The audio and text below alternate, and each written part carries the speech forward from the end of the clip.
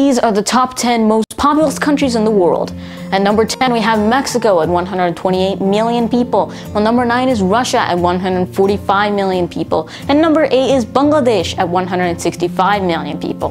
Now, number seven is Brazil at 215 million people, while number six is Nigeria at 218 million people, and number five is Pakistan at 235 million. And Indonesia is at number four at 275 million people. That's a lot. Now, before we get to the top three, I'd like to recommend you to like and subscribe so that you don't miss another one of my shorts ever again. Now it's time for the top three. At number three, we have the USA at 333 million people, while number two is India and 1.37 billion. And number one is China at 1.41 billion people. And those are the top 10 most populous countries in the world.